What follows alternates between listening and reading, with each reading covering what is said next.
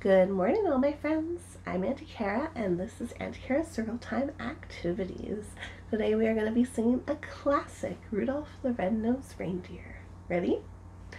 Rudolph the red-nosed reindeer had a very shiny nose, and if you ever saw it, you would even say it glows. All of the other reindeer used to laugh and call him names. They never let poor Rudolph join in any reindeer games. Then one foggy Christmas Eve, Santa came to say, Rudolph, with your nose so bright, won't you guide my sleigh tonight? Then all the reindeer loved him as they shouted out with glee.